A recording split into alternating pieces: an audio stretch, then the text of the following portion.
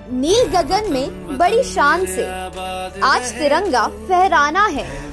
भारत का गणतंत्र अनूठा सारे जग को बतलाना है। राकेश कुमार मिश्र, जिलाधिकारी अमेठी, उत्तर प्रदेश द्वारा राष्ट्रीय पर्व गणतंत्र दिवस पर आप सभी क्षेत्र वासियों को हार्दिक शुभकामनाएँ।